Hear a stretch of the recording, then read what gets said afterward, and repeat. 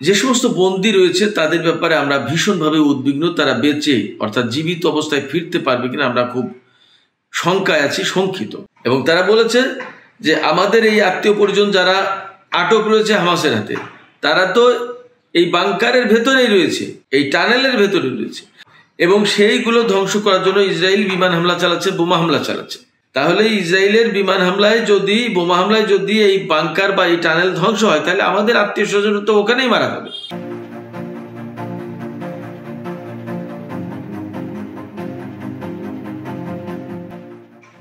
সুপ্রিয় দর্শক, আসসালামু আলাইকুম। টাইম স্পিডের আজকের আলোচনা আপনাদের সবাইকে স্বাগত জানাচ্ছি আমি সিরাজুল ইসলাম। আশা করছি আপনারা সবাই ভালো আছেন। দুটি জরুরি বিষয় নিয়ে আপনাদের সাথে আলোচনার জন্য আমি আজকের এই ভিডিও করছি। বিষয় দুটি হচ্ছে যে গতকাল, অর্থাৎ মঙ্গলবার, গাজা উপত্যকায় প্রচণ্ড রকমের ইসরায়েলি বাহিনী এবং হামাস ও জেহাদ আন্দোলনের যোদ্ধাদের সঙ্গে সংঘর্ষ হয়েছে এবং তাতে ইসরায়েল ব্যাপক ক্ষয়ক্ষতির মুখে পড়েছে। হামাসের পক্ষ থেকে বলা হয়েছে, অন্তত দশজন সেনা, ইসরায়েলি সেনা নিহত হয়েছে আর তারা চব্বিশটি ট্যাঙ্ক এবং সাজোয়া যান ধ্বংস করেছে। জিহাদ আন্দোলন বলেছে যে তারা বহু সংখ্যক ট্যাঙ্ক এবং সাজোয়া যান ধ্বংস করেছে, তবে তারা কতজন ইসরায়েলি সেনাকে হত্যা করতে পেরেছে সেই ব্যাপারে কোনো বক্তব্য সুস্পষ্টভাবে দেয়নি। এটি গেল একটি বিষয়। আরেকটি বিষয় হচ্ছে যে গতকাল ইসরায়েলের যুদ্ধবাস প্রধানমন্ত্রী বেনিয়ামি নেতা নেয়াহুর সঙ্গে হামাস এবং জিহাদ আন্দোলনের হাতে থাকা বন্দীদের পরিবার পরিজনদের সঙ্গে বৈঠক হয়েছে। অর্থাৎ নেতানিয়াহুর সাথে বৈঠক করেছে হামাস এবং হিজবুল্লার হাতে যে সমস্ত বন্দী রয়েছে, তাদের পরিবারের সদস্যরা। সেই বৈঠক হয়েছে প্রচণ্ড রকমের উত্তেজনাপূর্ণ। হট্টগোল হয়েছে, চেঁচামেচি হয়েছে এবং নেতানিয়াহুর মুখের উপরে তারা জবর জবর কথা বলেছেন। কি সেই জবর জবর কথা? তারা বলেছেন যে, আমরা সরকারের উপরে প্রচণ্ড রকমের ক্ষুব্ধ, সরকার ব্যর্থ হয়েছে, সরকার ষাট দিনেও আমাদের প্রিয়জনদেরকে উদ্ধার করতে পারেনি এখন আমরা আর এইটা দেখতে চাই না যে একষট্টি দিনে গড়িয়েছে সেটা বা বাষট্টি দিনে বা পঁয়ষট্টি দিনে। এখনই তাদেরকে ফেরত আনতে হবে। এরকম কথা নেতানিয়াহুর মুখের সামনে বলেছেন তারা। আরও অনেক কথা আছে, আমি বিস্তারিত আলোচনা আসছি। তো এই দুটি বিষয় নিয়ে আমি আর মূলত আপনাদের সাথে একটু কথা বলতে চাই। তো আমরা দেখেছি যে ইহুদিবাদী ইসরায়েল বারবার দাবি করছে যে তারা হামাস এবং জিহাদ আন্দোলনকে একেবারে ধ্বংস করে দেবে, নির্মূল করে দেবে এবং গাজা দখল করে নেবে। এবং এই জন্য তারা গতকাল বিশেষভাবে গাজার খান ইউনুস শহর একেবারে ঘেরাও করে ফেলেছে, ট্যাঙ্ক দিয়ে ঘেরাও করে ফেলেছে। তারা হামাসের বিরুদ্ধে অভিযান চালানোর প্রস্তুতি নিয়েছে। কিন্তু গতকালকে সেখানে এত বেশি বড় সংঘর্ষ হয়েছে যে ইসরায়েলি বাহিনীর পক্ষে টিকে থাকা খুব কঠিন ছিল। ইসরায়েলের একজন কমান্ডার বলেছেন যে, গতকালের যে সংঘর্ষ হয়েছে খান ইউনুসে যুদ্ধ শুরুর পর থেকে এই পর্যন্ত এটি ছিল সবচেয়ে বড় সংঘর্ষ। তার থেকে আমরা বুঝতে পারছি যে, হামাসের দাবি একেবারে মোটেই বাহুল্য নয় এবং হামাস এইভাবে বাহুল্য দাবি করার কোনো কারণও নেই। এটি তাদের নৈতিক যে অবস্থান, তার সাথে আসলে সংগতিপূর্ণ হবেও না। খান ইউনুস শহরের একটি ভবনে একদল ইসরায়েলি সেনাকে হত্যার জন্য হামাস আগে থেকে পেতে রাখা বোমার বিস্ফোরণ ঘটিয়েছে। যে ভবনে তারা জড়ো হয়েছিল, সেই ভবনে আগে থেকেই হামাস বোমা পেতে রেখেছিল। এটা ছিল হামাসের একটা ফাঁদ। এবং সেই ভবনে যখন জড়ো হয়, তখন বোমার বিস্ফোরণ ঘটায় এবং পুরো একদল সেনা সবাই নিহত হয়েছে। সম্ভবত বলা হচ্ছে ওই দশজন সেনা এখানেই নিহত হয়েছে। তো যাই হোক, ইসরায়েল ঘোষণা দিয়েছে, তাদের গতকাল সম্ভবত মোট পাঁচজন সেনা হত্যার কথা ঘোষণা করেছে। এবং ইসরায়েলের হিসাব মতে, এ পর্যন্ত তাদের পঁচাশি জন সেনা মারা গেছে। কিন্তু ফ্যাক্ট হচ্ছে যে, এই সেনা মৃত্যুর সংখ্যা অনেক বেশি। লেবাননের দৈনিক আলমানার পত্রিকা জানিয়েছে গতকালকে যে তাদের সেনা, অর্থাৎ ইসরায়েলি সেনা মারা গেছে অন্তত চারশো পাঁচজন বা ছয়জন তো আমি যে কথা বলতে চাইছি, সেটি হচ্ছে যে এই যে গাজা থেকে হামাসকে একেবারে নির্মূল করে দিতে চাইছে, এটি কি সম্ভব ইসরায়েলের পক্ষে? সম্ভব না। কোনোদিন সম্ভব হবেও না। বরং আমরা আকার ইঙ্গিতে যা পাচ্ছি, সেটি হচ্ছে যে ইসরায়েল এখন নতুন করে আবারও যুদ্ধবিরতির প্রচেষ্টা চালাচ্ছে। সম্ভবত তারই পরিপ্রেক্ষিতে গতকাল হামাসের শীর্ষ পর্যায়ের একজন নেতা, আপনারা অনেকে হয়তো নামটা শুনে থাকবেন উসামা হামদান তিনি একেবারে পরিষ্কার করে বলেছেন যে ইসরায়েলের সাথে কোনো রকমের যুদ্ধবিরতির আর চুক্তি হবে না বা আলোচনা হবে না, যতক্ষণ পর্যন্ত না ইসরায়েল একেবারে সম্পূর্ণভাবে যুদ্ধ বন্ধ করে। অর্থাৎ ইসরায়েলকে যুদ্ধ বন্ধ করতে হবে, তারপরে বন্দি মুক্তির ব্যাপারে আলোচনা করতে হবে। এবং হামাস এতটা শক্ত অবস্থানে যেতে পেরেছে কেন? আমি মনে করি হিসেব খুব সোজা। হিসাবটা হচ্ছে এই যে হামাস যুদ্ধের ময়দানে বেশ ভালো অবস্থানে আছে। দুই হচ্ছে তাদের যে টানেল সিস্টেম, সেটা ধ্বংস করতে পারেনি, কোনো রকমের ক্ষয়ক্ষতি করতে পারেনি। তিন হচ্ছে, ইসরায়েলের ভেতরে এত বেশি অভ্যন্তরীণ চাপ সৃষ্টি হয়েছে, যে চাপের কাছে মাথা নোয়াতে বাধ্য হয়েছে নেতানিয়াহু সরকার। এবং সেই কারণে তারা নতুন করে আবার আলোচনা শুরু করতে চাচ্ছে। আমরা জানি যে গত সপ্তাহে মোসাদের একটি টিম কাতারের রাজধানী দোহায় এক সপ্তাহ ধরে ছিল এবং তারা হামাসের সাথে যুদ্ধবিরতির মেয়াদ বাড়ানোর একটা আলোচনা করেছে, কিন্তু হামাসের পক্ষ থেকে পরিষ্কার করে বলা হয়েছিল যে যুদ্ধবিরতির মেয়াদ শুধু তখনই বাড়বে। একেবারে ইসরায়েল যুদ্ধ পরিপূর্ণভাবে বন্ধ করতে সম্মত হবে, রাজি হবে এবং তারপরে গিয়ে যুদ্ধবন্দি বিনিময়ের ব্যাপারে আলোচনা হবে। একই কথা বলেছিল। তো এই যে একটা অবস্থান এই অবস্থানটা কোথা থেকে আসছে? হামাসের শক্তিশালী অবস্থানের কারণে। এবং ইরান গতকালকে বলেছে আমেরিকা বা ইসরায়েল যেটি চাইছে, সেটি সম্ভব হবে না। কি? কি সেটি? সেটি হচ্ছে যে হামাসকে নির্মূল করা।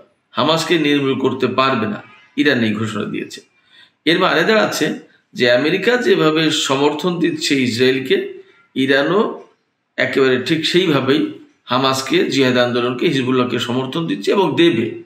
বিকজ এই সংগঠনগুলো ইরানের পৃষ্ঠপোষকতায়, সমর্থনে, মদতে তৈরি হয়েছে, প্রতিষ্ঠিত হয়েছে। অতএব এটা ইরানের নৈতিক দায়িত্ব। এবং যুক্তিও আসে যে আমেরিকা যদি তাদের সাপোর্ট দিতে পারে, তাহলে ইরান কেন সাপোর্ট দিতে পারবে না? এবং এই যে কথাটা বলা হচ্ছে যে হামাসকে নির্মূল করা বা ধ্বংস করবে ইসরায়েল বা তার প্রতি সমর্থন দিচ্ছে আমেরিকা বা পশ্চিমা গোষ্ঠী, আমার প্রশ্ন হচ্ছে হামাসকে নির্মূল করার এই ঘোষণাটা তারা দিচ্ছে কোথা থেকে? কে দিল তাদের এই অধিকার? হামাস ফিলিস্তিন নামক একটি রাষ্ট্র, সেই রাষ্ট্রের একটি স্বাধীন সংগঠন, একটি রাজনৈতিক সংগঠন যারা সরকার গঠন করেছিল। তাদেরকে আপনি সন্ত্রাসী তকমা দিয়ে একেবারে ধ্বংস করে দেবেন, এটি কি হয়? এই অধিকার আপনাকে দিল কে? এটা বাহুল্য কথা। অতএব হামাস ন্যায়ের পক্ষে আছে, বিজয় তাদের অনিবার্য। এবার আসি নেতানিয়াহুর সাথে যে বৈঠক হয়েছে সেই বৈঠকে কি কি আলাপ আলোচনা হয়েছে, কি কি কথা হয়েছে? আমি তার দুই একটা বিষয় আমি আপনাদেরকে একটু পড়ে শোনাই। আল জাজিরায় খবর দিয়েছে, তার থেকে আমি খুব অল্প অল্প কিছু কথা তুলে ধরছি। ড্যানি মিরান নামে একজন ব্যক্তি, তার ছেলে ওমরি ওমরি নামে তার একটি ছেলে, এই নেতানিয়াহুর সাথে যে বৈঠক হয়েছে, সেই বৈঠকের পরে চ্যানেল টুয়েলভ বা চ্যানেল থার্টিন, এই দুটি চ্যানেল ইসরায়েলের সামরিক বাহিনীর সাথে খুব রিলেটেড তো এই সমস্ত চ্যানেলের সাথে তারা সাক্ষাৎকারে বলেছেন যে বৈঠক ছিল অত্যন্ত কুৎসিত। সেখানে অতিমাত্রায় চেঁচামেচি হয়েছে, উত্তেজনা ছিল এবং বাহুল্য আশ্বাস দেওয়া হয়েছে ডিসগাস্ট বলছে যে এই বৈঠক ছিল একটা ডিসগাস্টিং বিরক্তিকর। ড্যানি মিরান বলছেন যে বৈঠকটা এত বাজে ছিল যে আমি সেখান থেকে কিছুক্ষণ পরে বেরিয়ে চলেছি ওয়াক আউট করেছি। বলেছে যে আমি বেরিয়ে চলে এসেছি, আমি এই বৈঠকে আর থাকতে পারিনি। এতটা বাজে মানে বাহুল্য আলোচনা। এবং সরকারের পক্ষ থেকে বা নেতানিয়াহুর পক্ষ থেকে যে সমস্ত বক্তব্য বা আশ্বাস দেওয়া হয়েছে, একেবারেই অকার্যকর, বাহুল্য, এর কোনো মূল্য নেই। যার কারণে তিনি বৈঠক থেকে বেরিয়ে চলে এসেছেন এবং তিনি বলছেন যে আগলি ডিসগাস্টেড এই সমস্ত। জেনিফার জেনিফার মাস্টার নামে একজন নারী, তার বয়ফ্রেন্ড হামাসের হাতে বন্দি। তিনিও বলছেন যে, এই মিটিং ছিল খুবই উত্তেজনাপূর্ণ এখানে চিৎকার, চেঁচামেচি হয়েছে। তিনি বলেছেন যে, আমাদের যে প্রিয়জন যারা হামাসের হাতে বন্দি রয়েছে, তাদেরকে কালকে নয়, আজকে, এখনই ফেরত আনতে হবে। বুঝতে পারছেন যে নেতানিয়াহুর উপরে কতটা চাপ সৃষ্টি হয়েছে। ইদিত ওহেল নামে আর এক নারী, তার একুশ বছরের ছেলে হামাসের হাতে বন্দি। তিনি বলেছেন যে আমি এই সরকারের উপরে আস্থা একেবারেই হারিয়ে ফেলেছি। রাখতে পারছি না আস্থা। তিনি বলেছেন, ষাট দিন চলে গেছে। এই যুদ্ধ শুরুর ষাট দিন চলে গেছে। নেতানিয়াহুর সরকার বা সেনাবাহিনী বারবার আমাদেরকে আশ্বস্ত করেছে যে সবাইকে জীবিত ফেরত আনা হবে এবং অক্ষত অবস্থায় ফেরত আনা হবে। কিন্তু একজনকেও সরকার বা সামরিক বাহিনী মুক্ত করতে পারেনি। যে কয়জনকে মুক্তি দিয়েছে তা হামাস মুক্তি দিয়েছে। হামাস যদি মুক্তি না দিত, তাহলে এইগুলোকে মুক্তি, মুক্ত করা সম্ভব হতো না। একষট্টি দিন নয়, বাষট্টি দিন নয় বা পঁয়ষট্টি দিন নয়।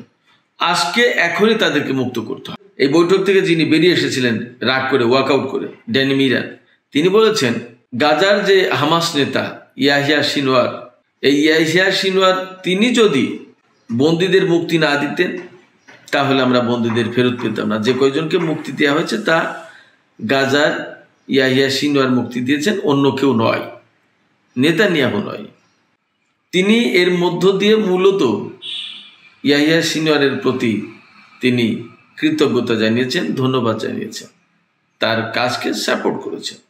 তো সামগ্রিকভাবে আমরা যে চিত্র দেখতে পাচ্ছি, সেটি হচ্ছে এই যে নেতানিয়াহুর সরকার প্রচণ্ড রকমের চাপের ভেতরে রয়েছে, অন্তত দুটো কারণে। একটা হচ্ছে যে এখনই যুদ্ধবিরতি করা হোক, যুদ্ধ বন্ধ করা হোক এবং আপনারা জানেন যে ইসরায়েলের বিভিন্ন শহরে যুদ্ধ বন্ধের ব্যাপারে দাবি জানিয়ে সমাবেশ করা হয়েছে, মিটিং করা হয়েছে। শুধু যুদ্ধ বন্ধের ব্যাপারে নয়, নেতানিয়াহুর পদত্যাগেরও দাবি জানানো হয়েছে সেই সমস্ত সমাবেশ মিটিং থেকে। বন্দীদের মুক্তির ব্যাপারেও নেতানিয়াহুর উপরে প্রচণ্ড চাপ সৃষ্টি করা হয়েছে।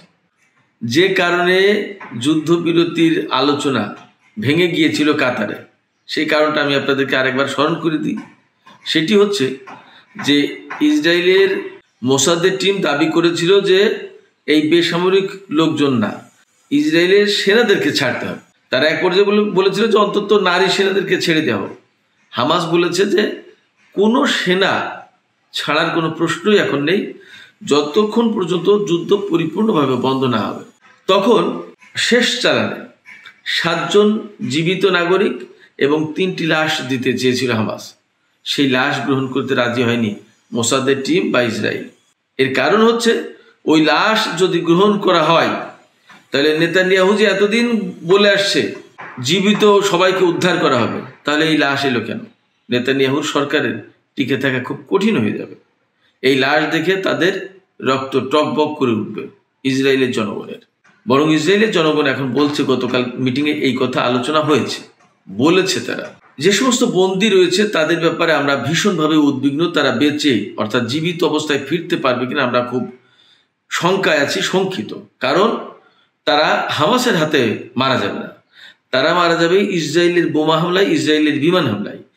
ইসরায়েল যে প্রতিদিন গাজার টানেল ধ্বংস করার জন্য যে বিমান হামলা চালাচ্ছে, বাংকার ব্লাস্টার বোমা দিয়ে হামলা চালাচ্ছে, এই বোমা হামলায় আমাদের আত্মীয় পরিজন এরা মারা যাবে।